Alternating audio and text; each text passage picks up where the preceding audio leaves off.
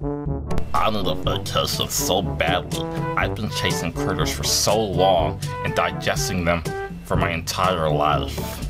Because I need my break right away. Yeah, I hear that. I've been eating lots of squirrels lately. They're so delicious. You ate squirrels? Wow, I've never had those in my life, but I like to try it out eventually.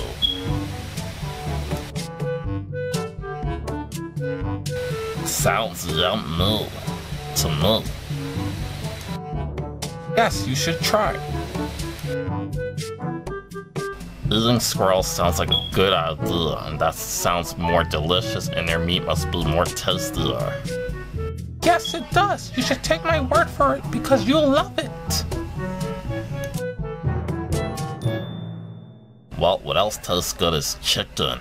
All that meat and its flavor. Especially, I like to eat the skin the most. It's my favorite part.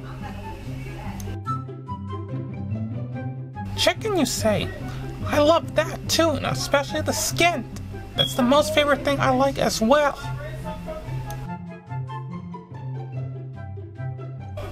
But I like to eat fried chicken the most because I, fried chicken's my favorite.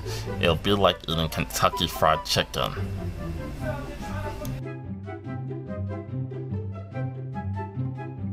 Fried chicken's my favorite too as well. Yummy!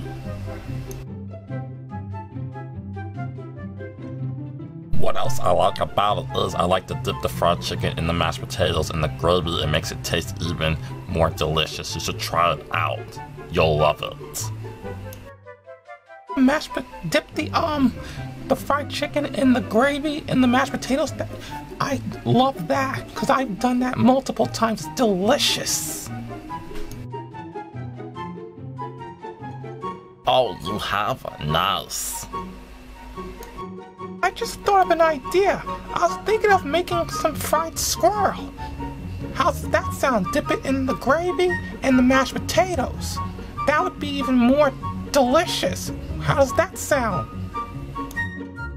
Squirrel? That sounds delicious. I want to try that out. It makes feels like I want to make it from scratch. Yummy.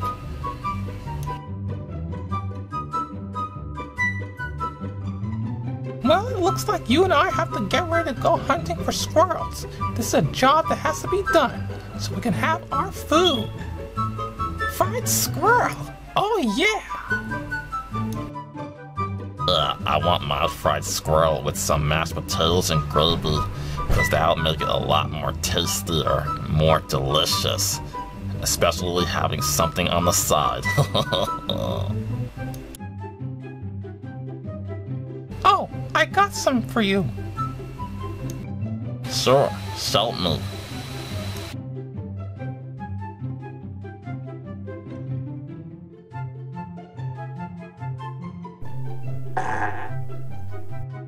Ah, you. What did you eat?